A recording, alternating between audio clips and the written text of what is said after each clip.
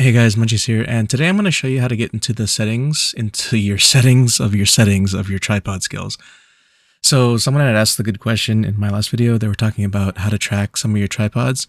So everyone knows you go, you hit K and you hit settings, right? After you hit settings, you can pick which ones you want to track, and after you learn them, they won't show up anymore, right?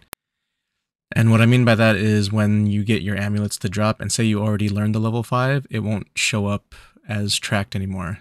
So all you do is you hit settings once and you hit it again and you go through this menu and you pick pretty much which ones you want to track. You can pick the skill tree effect nodes only. And you can also check the notification threshold, which you can set it at level 2, 3, 4, 5, or whatever. So you can set it to whatever you want to view.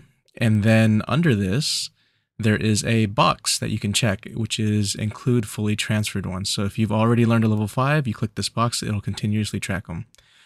So that is all for this video. And if you guys still have any questions about this tripod thing, let me know in the comments below and I'll see you guys next time. Bye.